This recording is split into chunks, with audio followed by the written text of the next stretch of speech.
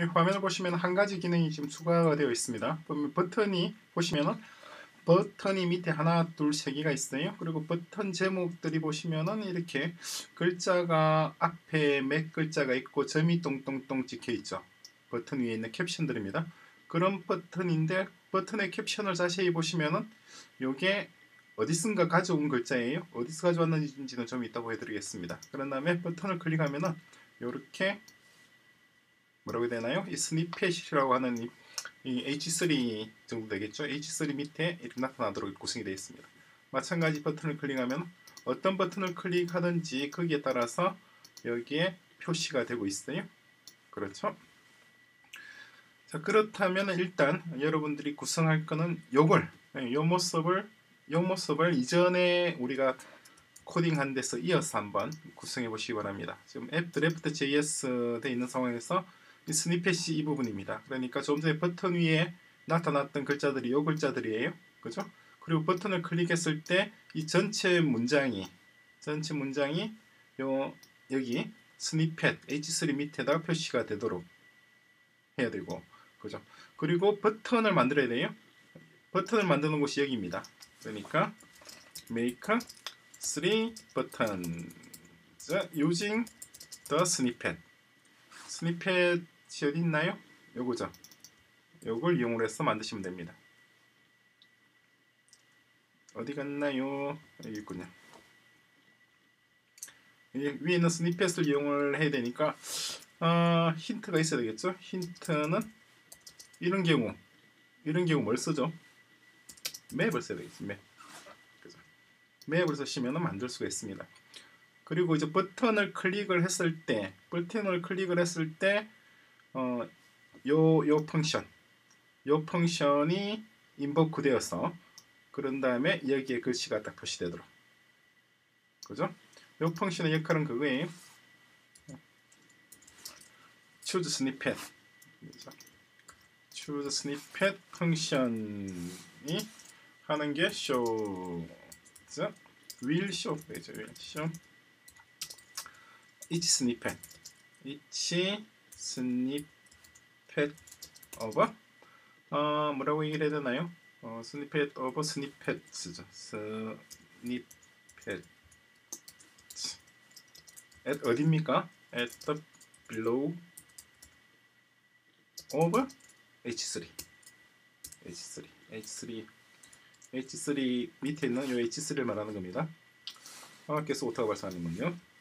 여기는 h3죠, 그죠? 여기 밑에 여기에 우리가 선택한 버튼에 해당되는 스니펫이 표시되도록 쉽게 말해서 이렇게 동작할 수 있도록 이게 샘플입니다. 이렇게 될 수 있도록 choose snippet function 이 function이죠. 이 function을 구성을 하시면 됩니다. 천천히 시간을 두고 한번 작성해 보시기 바랍니다. 여기 있는 부분은 조금 쉽지는 않을 거예요. 힌트는 map도 있고 그리고 어, 이걸 뭐라고 얘기해놔요? higher order function higher order function 이 higher order function이 뭔지 아시죠? 우리가 어, advanced JavaScript에서 공부했던 거잖아요. 그렇죠? 펑션을 인풋으로 바꾸나 펑션을 아웃풋으로 리턴하는 펑션을 higher order function이라고 그러죠. higher order 펑션을 이용해야 됩니다. 맵과 이 두 가지 힌트를 드렸으니까 천천히 곰곰이 생각하면서 코드를 완성해 보시기 바랍니다.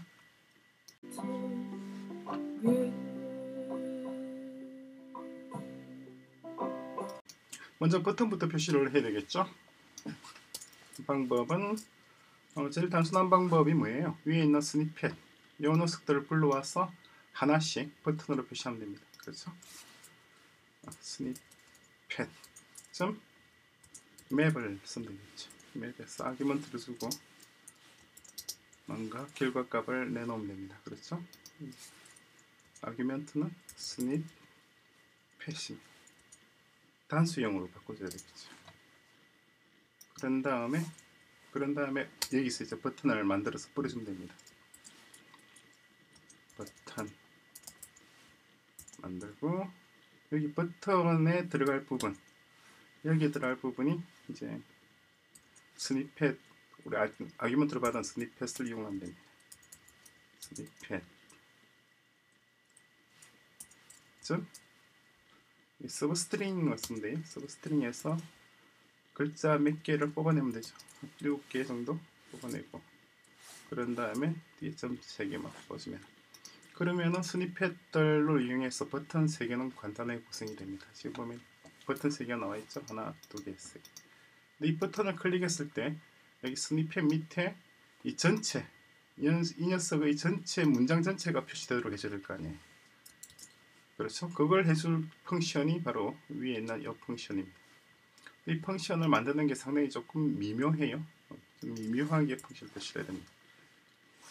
추즈 스니펫하고 그런 다음에 일단 버튼에 쓰일 부분 일단 버튼에 쓰일 부분만 얘기를 하자면은 온클릭 이벤트가 발생했을 때 그죠? 여기에 들어가는 것이 바로 choose 요 snippet function을 불러들일 거란 말이에요. 그리고 키가 당연히 들어야 됩니다. 키가 왜 들어야 되는지 아시죠? 그죠? 이 키에 들어갈 만한 것이 이 snippet의 인덱스를 받는 것이 타당하죠. 그죠? 타당하지는 않죠. 왜냐하면 원래 받으면 안 되잖아요. 그죠? snippet의 인덱스를 키로 삼으면 안 됩니다. 안 되는 이유를 말씀을 드렸었나요? 어, 이전에 array의 인덱스를 키로 삼게 되면은 array의 어느 하나의 element의 위치가 array 중에서 어느 하나를 빼거나 더하게 되면은 전체 계산이 다시 이루어져야 되니까 굉장히 속도가 느리게 됩니다. 컴퓨터가. 그래서 array의 인덱스를 절대로 키로 쓰지 않고 다른 걸 써야 돼요. 근데 지금은 조그만한 그냥 앱이니까 그냥 그대로 쓰는 걸로 하겠습니다. 그렇죠. 이렇게 하고 그런 다음에 이제 어 요거 스니 choose snippet을 해야 되는데 요걸 그냥 할 수는 없어요. 왜냐니까 우리가 여기다가 인덱스를 넘겨주고 그죠? 인덱스를 넘겨줘야지 얘가 뭔가를 처리를 할 거란 말입니다. 그러니까 예를 들어서 snippet의 인덱스를 받는다고 합시다. 인덱스를 받고 그런 다음에 얘가 다시 function을 하나 리턴을 해야 합니다. 그죠? 다시 function을 리턴하니까 이런 형태가 되겠죠. 두 번째 이걸 이걸 우리가 우리 예전에 뭐라고 공부했었나요? order 펑션이라고 했던 거죠. 그죠? higher 펑션을 리턴하는 펑션입니다. 그죠? choose snippet이라고 하는 뭔가를 받아서 어, 그런 다음에 어, 다시 보죠. choose snippet이라고 하는 것은 음, snippet이라고 하는 argument를 받아서 또 다른 function을 리턴하는 리턴되는 function이 바로 어, 여기서 set snippet 이 녀석이죠. 그다음에 snippet 중에서 중에서 argument로 받아는 요 녀석을 argument로 받아야 되겠죠. snippet 인덱스 그죠? snippet 인덱스 snippet 인덱스 어, 이렇게 하면 안 되죠. 이렇게 하면 동작하지 않습니다. 어, 왜 동작하지 않죠? snippet 인덱스라는 argument가 없어요. 어, property가 없어요. 그죠?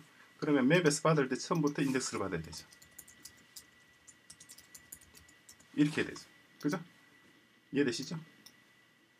이게 이해가 안 되면 안 됩니다. 그러면은 여기서 얘는 사라지고 스니펫 인덱스 인덱스를 넣어주면 되죠. 그러면은 스니펫 인덱스에 따라서 이 스니펫이 설정이 될 것이고 그것이 여기에 표시되면 되죠. 여기에 스니펫 그렇죠? 이 결과를 볼까요? 보면은 이런 식으로 클릭하면은 어 아무것도 안 나타나네요. 다시 뭐가 빠졌는지 보겠습니다. 온클릭해서 아 그렇죠. 스니 추저 스니펫의 아규먼트로 인덱스를 선택해줘야겠죠. 사실 올- 원래 이 온클릭이라고 하는 이벤트에 펑션 그 자체가 들어가야 됩니다. 그러니까 이게 우리가 알고 있는 지금까지는 이런 형식으로 들어갔어야 돼요. 이렇게 되거나 아니면은 여기 아예 빠지거나 둘 중에 하나가 돼야 됩니다. 이런 식으로 하게 되면은 만약에 이게 function을 리턴하는 것이 아니거나 그냥 데이터를 리턴한다 그러면은 무한 루프에 빠지게 돼요. 그렇잖아요. 얘가 state를 바꾸고 state를 바꾸면 얘를 렌더링을 다시 하게 되고 요걸 렌더링을 다시 하면 다시 얘가 또 state를 바꾸고 또 다시 렌더링을 다시 하고 이게 무한 루프가 되어 버리게 되죠. 그런데 지금 같은 경우는 그렇지는 않습니다. 왜냐하니까 얘가 리턴하는 것이 function이기 때문이죠. value가 아니라. 그죠? 그 function을 우리가 클릭했을 때 이제 곧 가동하게 되는 겁니다. 클릭하면은 잘 나타나고 있죠. 상당히 재미있는 음, 에피소드예요. 지금 잘 받으시기 바랍니다. 이런 식으로 order function을 이용함으로 해서 order function을 이용하지 않고 한번 코드를 작성해 보십시오. 굉장히 복잡해집니다. 근데 오더 펑션을 이용하니까 굉장히 단순 명료하게 예, 깔끔하게 정리됐죠. 그죠? 요게 펑셔널 프로그래밍의 키 포인트입니다.